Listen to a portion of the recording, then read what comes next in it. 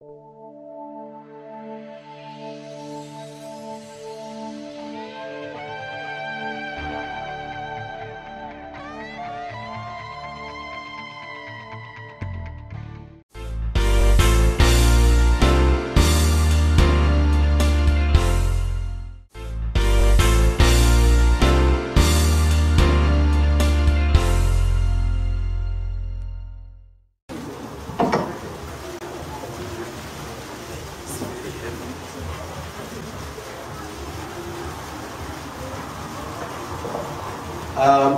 just few words to share to the to the children of God. nna le mantswe a mmalwa fela kwa tlang wa sheba le bana ba modimo Uh, God loves us all modimo re rata kaofela without any any variation. ka ntle o kgethollo He loves us fully. o re rata ka o tletseng Hallelujah. And He doesn't love us temporarily. Ha re rate ho nakwana fela He loved us permanently. Amen. empa o rata ho ya o ile From before the worlds were created, pele lefatshe le ka thewa He loved us. Amen. And thus He sent His only begotten Son ya ba o romella ngwana morae a le notsi to restore us. Amen. ho ba torotosa The word that I have today is not about the people who are outside. Lentswe le ke nang le lona ka jena se la batho ba ka ntle It is about the people who are inside the house of God. ba ka hare ho kereke ya modimo The people who are already rolling with the work of God. Hallelujah. ba tsamayang le tshebedisa le mosebetsi wa modimo Hallelujah. Amen. Many times we talk about people who are outside, nako ngata re bua ka batho ba ka ntle and then which means us will be so special. Ebe rona he re tlabe ba kgethehileng Those who are outside, they are not special. ba ka ntle ha ba kgetheha But there are times when we should talk about ourselves who are inside. empa ho na le nako mo tlamehile re bue ka rona ba ka ba ka hare For those who are outside, it's only one word and one language. We are they are sinners. As we are, we are holy, we are righteous. Ebe rona ra halalaela re batle But there are a few things that we can also talk about ho na le ntho tse mmalwa tse re ka buang ka tsona hape so that we can be perfected.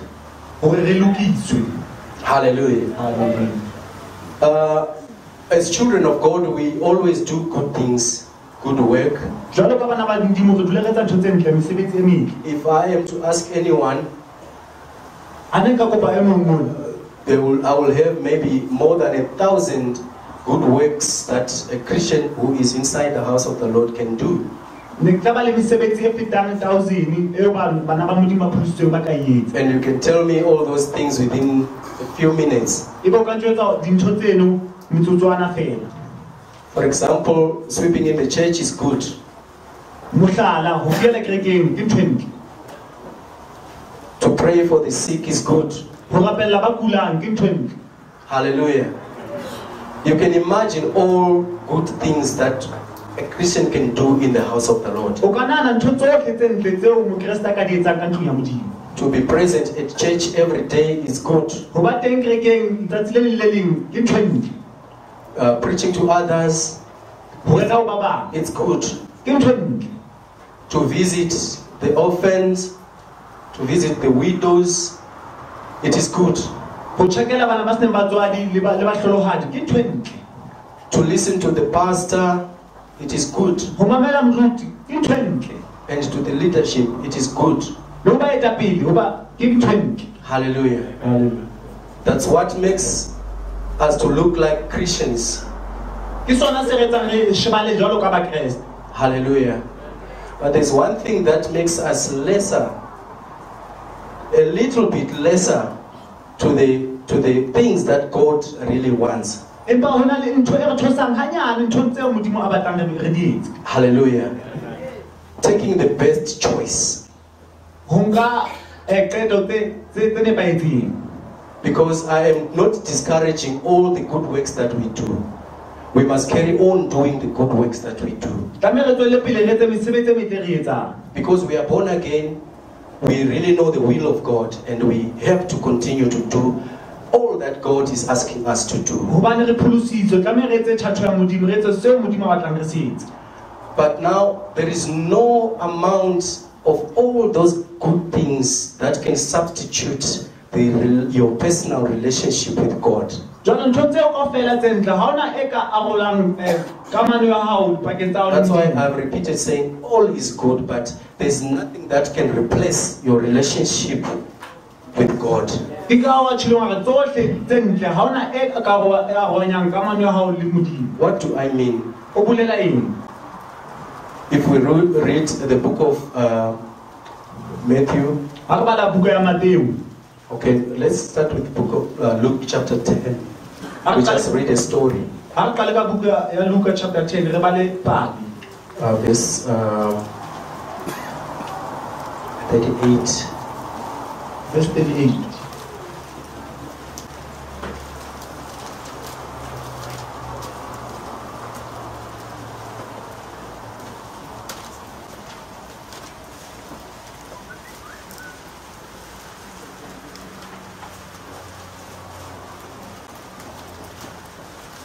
Uh, someone who's good in reading can read English or or, or Sutu or Zulu. Now it happened as they went that he entered a certain village, and a certain woman named Martha welcomed him into her house. 39. And she had a sister called Mary, who also sat at Jesus' feet and heard his word. 40. But Martha was distracted with much serving. And she approached him and said, Lord, do you not care that my sister has left me to serve alone? Therefore, tell her to help me. Number 41. And Jesus answered and said to her, Martha, Martha, you are worried and troubled about many things. But one thing is needed. And Mary has chosen that good part, Amen. which will not be taken away from her. Hallelujah. You know, this is a story which everybody knows. Met- uh, Mar- Ma- Mary, Mary and, and, and Martha. ena ke pale motho mo le mongwe a a tsebang ya- ya Martha. This Mary is uh, not Mary, the mother of Jesus. It's Ma- Mary, the sister of uh, Lazarus. Maria ona maria mme wa jesu empa ke maria ausi wa lazaro And, and Martha also. They are sisters. le mata ke bo ausi And you know that background wise, uh, Jesus loved this family a lot. Wa tseba he ho tswa moo jesu o ne a rata Whereby there was no need for him to come at any day and say, Hey, you family, you are doing the wrong thing in that because he was already in love with that family. mo no sena tlhoko gore a tle fela re eletsa ntho mpe hobane o ne a na le And we must also know that Jesus grew up in Bethany, lena. re ba tlamehe re tsebe gore mojesu o holetse bethane so he knew this family. Amen. o tse- na tseba lelapa lena Now a day came when he came into the house jwale ka tsa se leng ha tla ntlong eo and he said, and Mary came and sat be, uh, on, on, uh, on Jesus' ya ba wa uh, feet. dula maria o dula maotong wa jesu And Martha was busy doing good works, which I was talking about. ya ba mata a ntse busy a etsa mesebetsi metle mo tatebetsetsana Because there was nothing wrong with serving, with washing dishes, with cooking, with preparing anything that she was doing. gobane o sena ntho mpe ka ho hlatswa dijana kapa o o lokisa seo a na se lokisa Even before Jesus came in the house, le pele jesu a ka tla ka tlong I would like to think on, on common sense that Mary and Martha were doing just normal things in the house. And. I,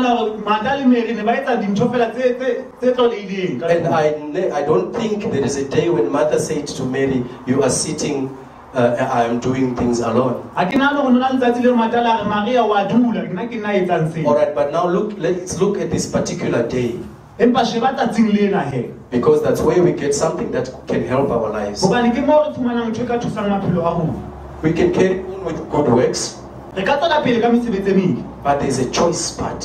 empa go na le nako tlamehe re kgethe.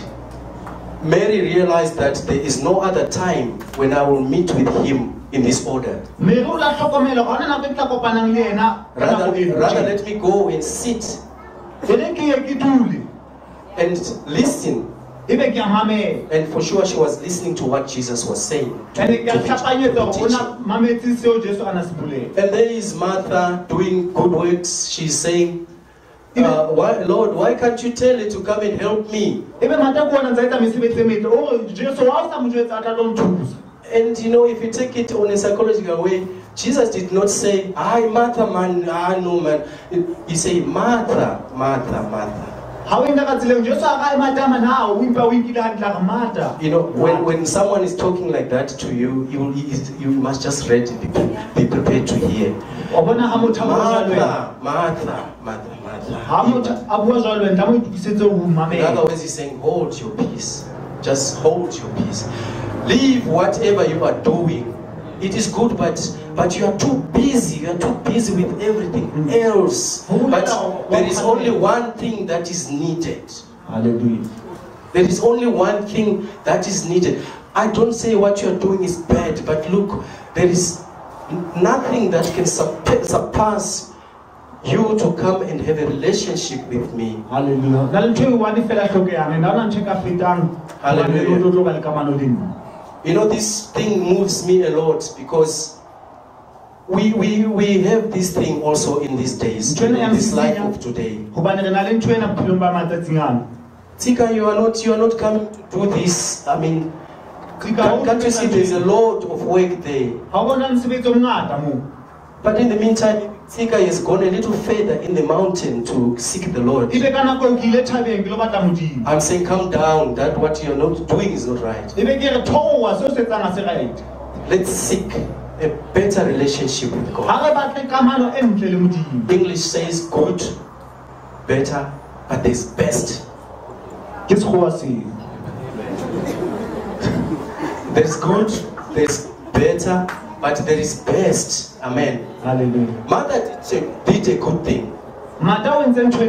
Mata o entse ntho ntle She came and sit with Jesus, o latla a dula le jesu and she had to listen to what Jesus was teaching. ya ba tlameya mamele seo jesu a And neng a se Jesus said, "There's nothing that would take away whatever she's hearing from her. ya ba jesu ore ga ona ntho se tlankang seo o se mametseng ho ho tswa ho nna Anything else can take good works from us. motho o mong le mong a ka- ka mesebetsi metle o una For example, we can die anytime and leave the good works, Eh, or e we might intend to change from one good work to another. or o tšhentšhe mesebetsi metle ho ya meng But Jesus is saying, take the best choice. empa jesu o rane nka kgetho ntle Why do we talk about the personal relationship with, with Jesus? Why are we saying it is very important, especially in these days? Because Jesus Christ said, in the last days, jesu matsatsing people will be lovers of many things. People will be lovers of this and that. Will be lovers of money. tla Many rata ntho tse people's love will wax cold. lerato la batho le tla ba- le tla bata Hallelujah. Hallelujah. I know you, you remember that scripture. You, we will die down. We will, we will not realize the importance of sitting re tla shwa re no hlokomela in, in next to Jesus. Hallelujah. Hallelujah. But here we are being taught that yes, nothing else can take mona ra rutwa gore ga ona ntho ka nkang a relationship with Jesus. kamano ya rona Will surpass a relationship with him. Let's, for example, today is uh, Men's uh, Day. mohlala ka jone ke tsatsi la Uh, let me talk about what men always do when they are re ke bo ba se bontate ba when they are slaughtering slaughtering a cow. ga ba tlhaba kgomo he They slaughter a cow. There is meat. All is called meat. ba tlhaba kgomo ebe ba bata nama Whether it can be a head, whether it can be whatever, it's called meat. Ne- gore ka ba hlokapanya empa ke nama batang Brisket, short rib, there is shin, there is this, there is all that kind of. But all that good uh, meat tastes nice. empa nama kaofela yona monate Hallelujah. Is there any part which we can say no, it's not right? Ikone baba mtunkulu. Amen. Every meat on a on a on a on a uh, sheep uh, cow is is it's good. nama nngwe le nngwe ka bankong monate But there's this meat on the cow which is called empa ona le nama ena kgomong bitswang steak fillet. steak filet You know it. Steak fillet is Very small. You can, if we are many, we cannot manage to share to everyone. Nama eo nyane haholo ha re le kaofela le bangata re ka se kgone ho arolelana It's small. Maybe it can be eaten with the best invited.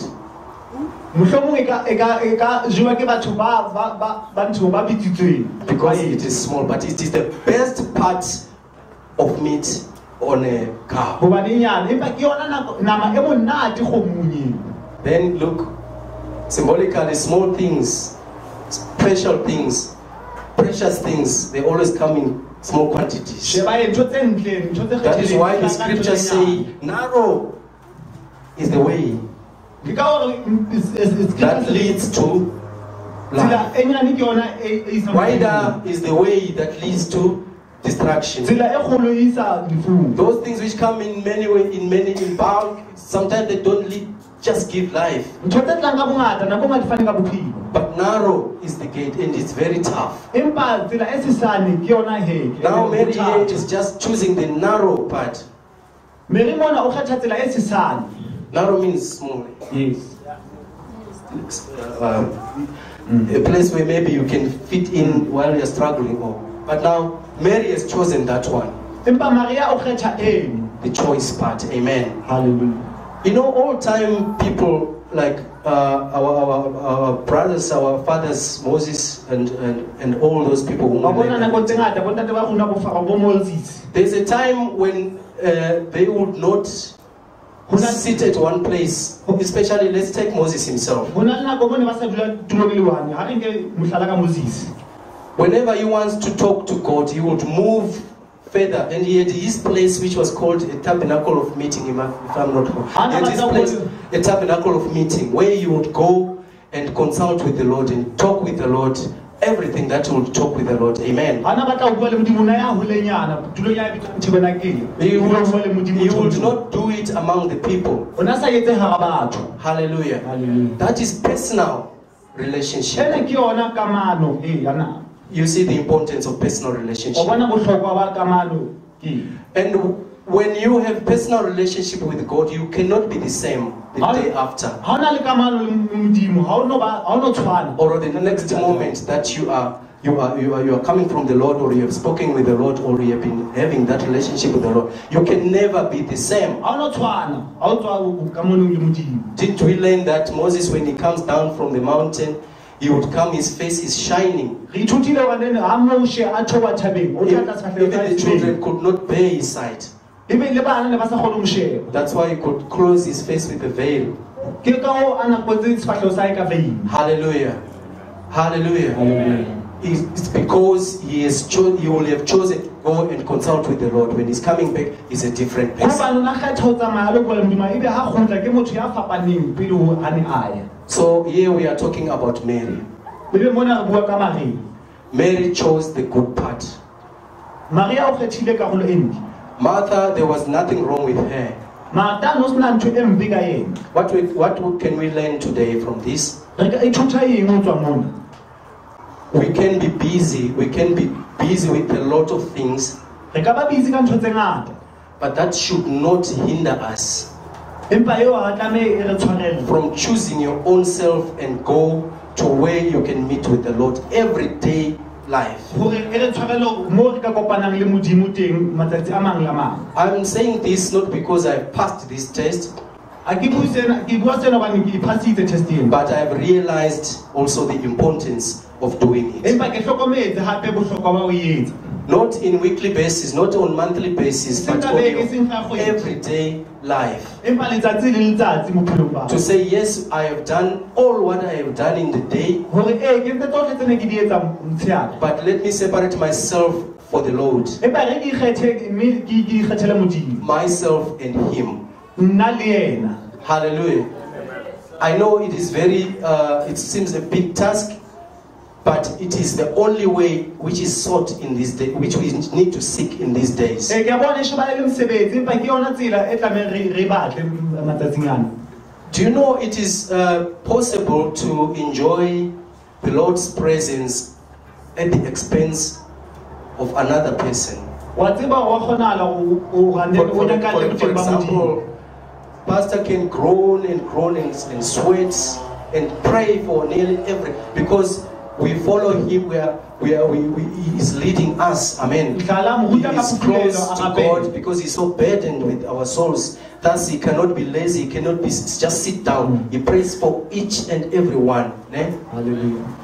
and then we see things happening. Ebe re bona dintho di etsahala? We see the lord answering prayers. Re bone modimo a a ba dithapelo. But we are enjoying this expense of one person. Empa ebe re re nyakalla o sena god is faithful. He will answer his prayers for your sake. Ee modimo o faithful o tla antsha thapelo ya he won't say no to him because a a ho yena even even like always i give example with moses because we know the full journey that they were doing he would go to cry for the people. Look god people don't have water. The people there's a time when they had to go and had, um, there was a place where there was bitter water and go, uh, moses was saying now what am i going to do? The people are crying. Then lord said he showed him a piece of stick a, a piece of tree and said throw it in the water it became sweeter and he was always taking steps to change things o be nang ka for the sake of people. But when they drink water, sweeter water, now they enjoy it. bane ba nwa metsi le metsi mme ba This is why I say it is possible, yes, to enjoy the ka o ke re wa presence of the Lord o nyaka le boteng ba modimo because of one man. ka baka la motho a le mong But how long can that continue? empa o tlang ka nako kae Because God is saying, Jesus is saying, now that I came and I died for you, gobane jesu a jwale ke tlile ebile ke le shwetse you are my child. Le Seek to dwell in me batla go dulang ho nna and I in you. ebe nna ke dula o Amen. Hallelujah. It didn't say seek to dwell in, in church, in the crowd. Or, he is talking about personal relationship. batho empa o bua ka kamano ya le le wena Hallelujah. Hallelujah. Because on your own, you are at the temple of the Holy Ghost, where you are needed to exercise, to use what is in you. hlokang ho kwetlisa seo It cannot always be the leadership or the pastor or whoever is above you to, to, to consult for you, a se metapele fela kapa pastor ya tlameng a bue le modimo bakeng sa hao to advocate for you. hore a o buelle Hallelujah. Hallelujah.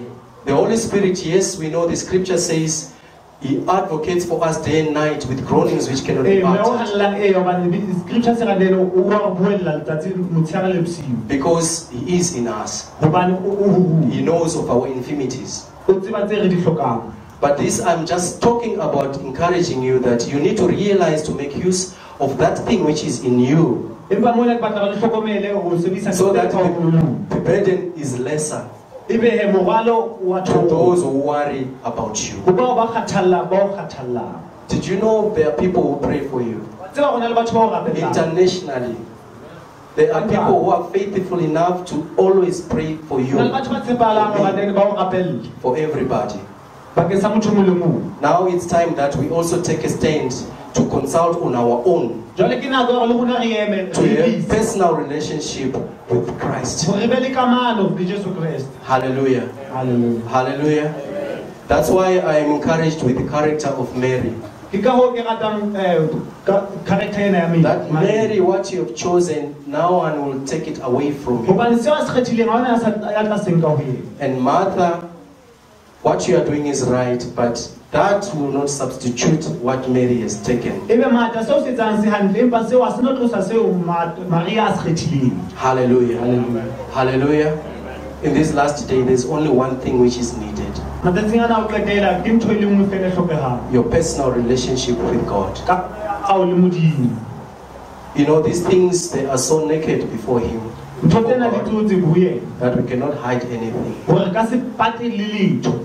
Because He understands us in and out, He understands our ways. gobane o utlwisisa ka gare le ka ntle ebe utlwisisa le tsela tsa bua That's why He loves us so much ke ka o a re ratang hakana that He gave His only begotten Son. gore a re fe- a romele mohlanka moraya lenotsi Now, these are the things that we need to take serious because we can do whatever we can do in the, in the, in the sight of men and things go well. Ntho- re ka etsa ntho engwe le engwe re ka etsang pela mahlo a batho ntho Everything, everything seems smoothing, ntho engwe le engwe e sh- and we can forget this part of exercising all the times, every minute of our life, the relationship that I have with God. ebe re lebala ho kwetlisa um kamano e re nang le yona pakeng tsa rona le modimo I'm standing here, but I'm saying I'm choosing ke eme mona empa ke re ke a kgetha the part that Mary chose.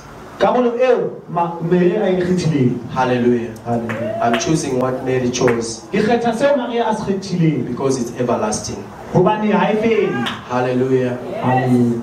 Hallelujah. amen It's very uh, a simple story, ke story se simple but look if you really identify in the, uh, look in the deep of it. empa ha o sheba botebong ba ba paleng Mary had a revelation to say he is Lord. There is no other God, there is no other Lord who will come and visit in this house that will give us life more than this man. ha ona mo- morena mongwe ya tlatlang ntlo ena ya tla re fa mophelo ho feta montšha eno Thus, she decided to cling to Jesus. ke ka go ala nka qeto ya randene o batla go kgomama I hope we, are, we have learned something. ke tshepa gore ithutile go gong Let's all take the character of Mary ga re nkeng karolo ena ya mele in Jesus' name.